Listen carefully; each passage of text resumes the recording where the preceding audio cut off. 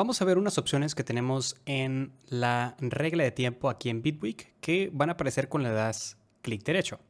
Primero tenemos estas dos opciones que dice reproducir aquí un salto cuantizado y reproducir aquí instantáneamente. Para que ustedes puedan ver cómo funciona, les voy a mostrar en un proyecto. Y puedan ver lo siguiente. Entonces, yo le voy a dar play y después voy a seleccionar una de esas opciones.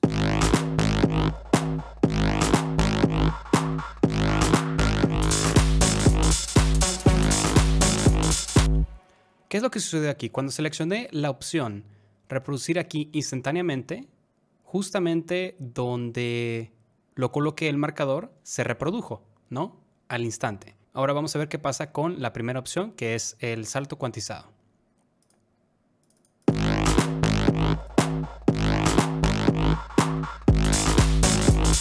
Si pudieron observar, aquí apareció una flechita o un triangulito color amarillo, se podría decir, o naranja, y tardó como entre 1 o 2 segundos en que se reprodujera esta parte. Lo que pasa es de que aquí tarda, digamos, en saltar porque lo hace una forma cuantizada donde no va a equivocarse en cuestión al ritmo que lleva la canción, por ejemplo. Ahora, cuando tú estás reproduciendo la canción, le das play.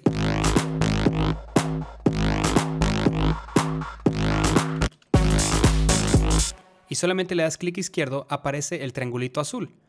Después, si tú detienes la canción, que puede ser con el botón de pausa o algo más práctico que viene siendo la tecla de tu teclado, la de espacio, la barra de espacio, automáticamente el cursor en vez de estar acá delante donde estaba, se mueve aquí, luego le puedes dar play y así digamos es como que rápidamente puedes cambiar de una parte a otra.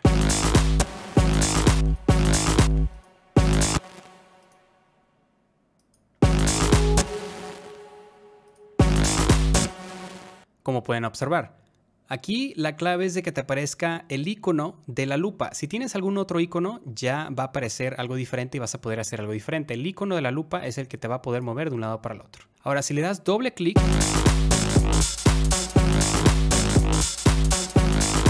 estás activando automáticamente el salto cuantizado. Entonces puedes hacerlo con clic derecho o simplemente hacerlo de la otra forma que para mí personalmente se me hace que es más fácil, más sencillo.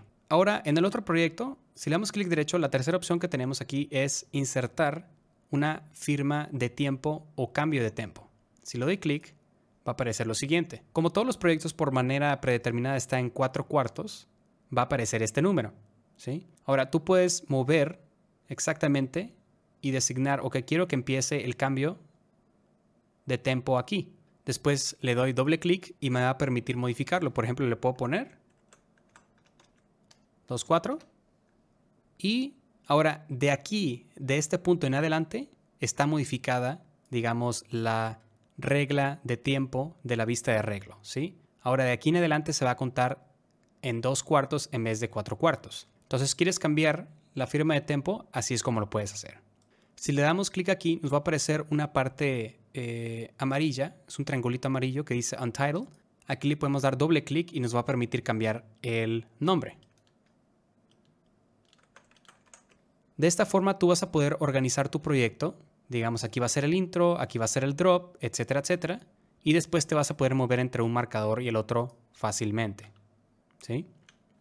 Luego tenemos mostrar los cue markers, que es lo que acabamos de poner, los marcadores.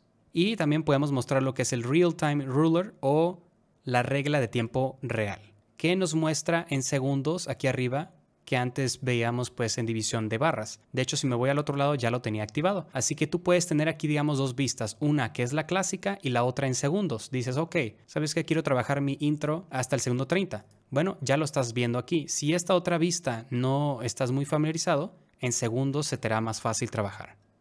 Ahora, aparte de estas opciones, si le das clic derecho, vas a ver lo que es el puntero, selector de tiempo, el lápiz, el borrador y el cuchillo. Con el puntero, tú vas a poder, digamos, mover una cosa de un lado al otro, como este kick. Con la herramienta de selección de tiempo, tú puedes seleccionar una sección en específico, por ejemplo, esta de aquí, hacia abajo y hacia arriba. Así tú puedes borrar algo al toque o también lo puedes duplicar.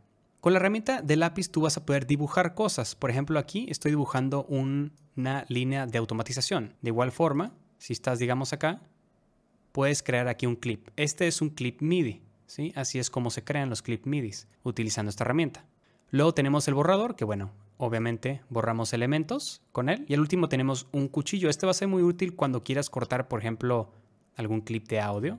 Digamos, ok, ¿sabes qué? Quiero meter zoom aquí y corto, ¿no?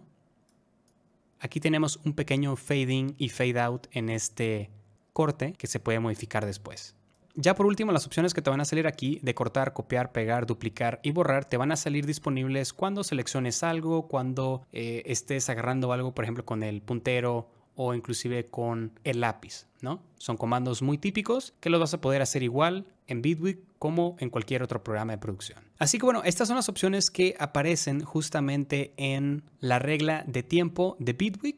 Ahora ya sabes un poquito más y te vas a poder transportar de un lugar a otro más sencillamente y claro, vas a poder utilizar las herramientas más esenciales para poder manipular pues clips, audio, automatización, entre otras cosas.